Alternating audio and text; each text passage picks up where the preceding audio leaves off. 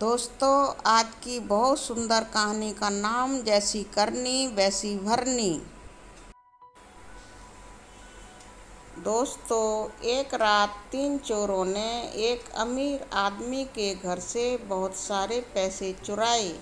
उन्होंने पैसे एक बैग में डाले और जंगल चले गए। उन्हें बहुत भूख लगी हुई थी।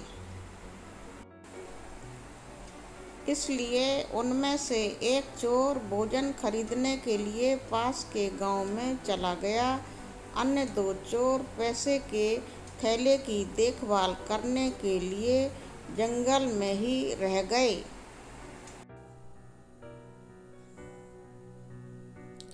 भोजन के लिए गए चोर ने तरकीब निकाली। उसने एक होटल में अपना खाना खाया। फिर उसने जंगल में अपने दो साथियों के लिए भोजन खरीदा।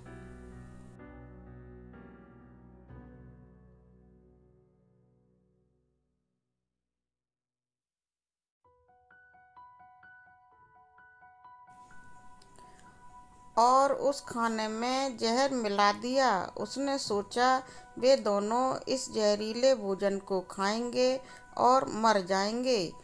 और मुझे अपने लिए बहुत सारा पैसा मिल जाएगा।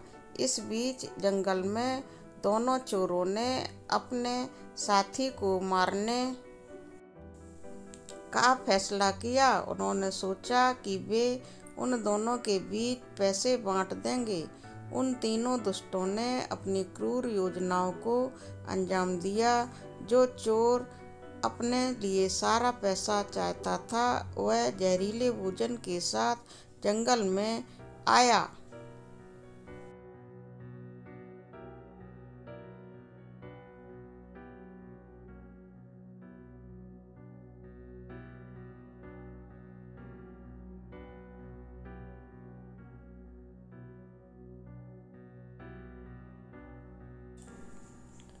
उसके पहुँचते ही उन दोनों ने उस चोर को मार डाला। फिर उन्होंने जहरीला खाना खाया और मर गए। इस प्रकार तीनों दुष्टों को उनके किए की सजा मिल गई। कहानी से शिक्षा। बुरे को बुराई ही मिलती है। धन्यवाद।